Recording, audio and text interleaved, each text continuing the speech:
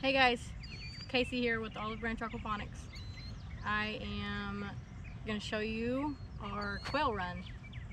What we do in here is we grow our squash um, and our cucumbers to where the squash bugs don't come after our stuff because we have quail that we run in here and the quail keep all the, the bad bugs away from our crop. So what we've done is we've built these hoop houses all the way down and then we put bird netting around it so that the quail can't get out and the hawks can't get in to get them. Um, this quail run can house up to 500 quail.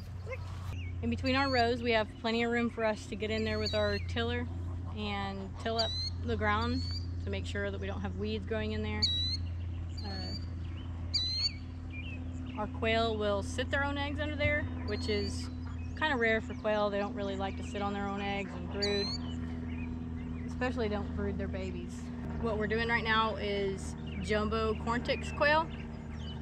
At eight weeks after they hatch, they start to lay eggs again, uh, which is pretty young. So we can produce a lot of quail in a short amount of time. Quail is good protein. It's good for you. Um, they're really easy to raise. Harm the fruit. They don't want the fruit unless there's nothing else to eat. So us keeping that high protein feed out all the time kind of helps them to not want to eat our squash.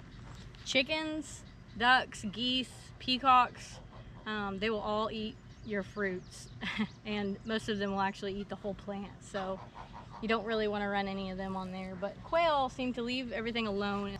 Okay, I'm back. I brought uh, a male and a female quail. I'm going to kind of show you what they look like and how to tell the difference. Kind of a little extra thing. But uh, so these are jumbo Coturnix quail. Um, the way that you can tell the difference between an adult quail, uh, male and female, is this is a female here and this is a male. So you can see that the male has uh, no spots on his breast. And then the female, obviously, has a lot of spots.